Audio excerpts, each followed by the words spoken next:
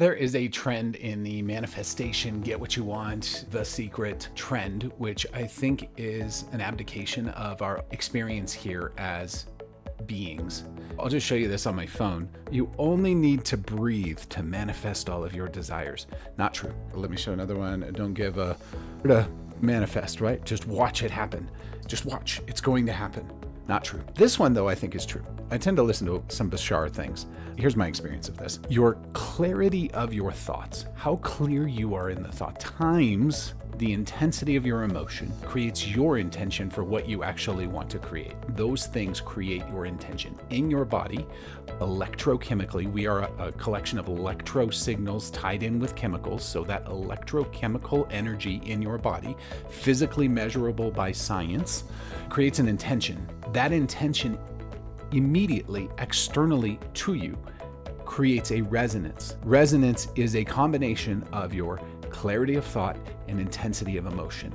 Your resonance goes out into the world and interacts. We can talk more about clarifying your resonance through clarifying your intention. That's a whole other thing. All of this stuff that's like, all you have to do is breathe. It abdicates part of the responsibility you have as a being here, saying it's just going to happen. Not true. No, it's not just going to happen.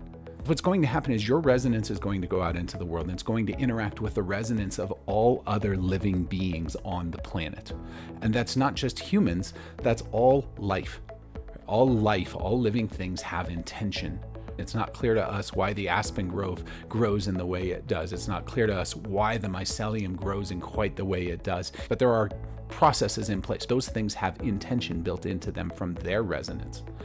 The thing that makes us different is that we get to choose our clarity of thought and our intensity of emotion. All you have to do is breathe and everything will come to you. Not true, because resonance interacts with all of the other possibilities that are out there. Circumstances are going to come back to you based on the resonance that you create. All you have to do is sit here and breathe and think about it. Not true. What they abdicate is your greatest power Claim your greatest power, which is your free will. Your choice is what happens next. And that is what you are embedded with is your choice. So clarity of thought, intensity of emotion creates intention. Intention goes out, creates resonance. Resonance interacts with all other living beings' resonance.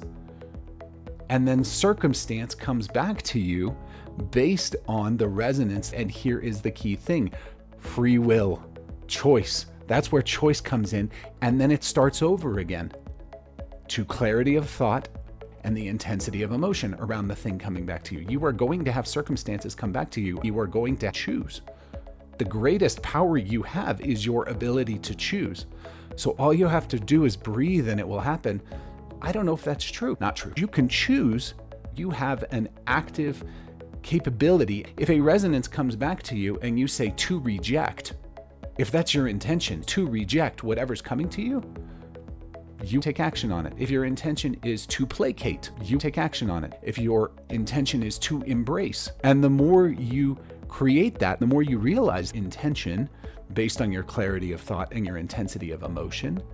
And yes, breath work's super important in that. And yes, meditation is super important in that. And yes, education is super important in that because it helps you clarify your thoughts. Affirmation is super important in that. Religious experiences or spiritual experiences are there to help us clarify our thought and our intensity of emotion. I was raised Catholic. I didn't really love church necessarily, but I loved being in youth choir because I love singing, because singing is in resonance with me. The clarity of my thought and the intensity of my emotion was helped to be clarified by the activity, the choice of going and singing. I could clarify my thought and I could amplify my emotion, and the way I did that was through music. What are your ways for clarifying your thought or your intensity of emotion? You can comment those to clarify your thought and amplify your emotion, figure out what verbs you want to be playing in the world. If you were an ideal character in the world, what verbs would your ideal character play in the situation? Not the way you just want to react because but the way you ideally would react or choose to respond rather than just react. Don't abdicate your responsibility or your greatest power, which is your ability to choose. Right? Create your clarity of thought create your intensity of emotion.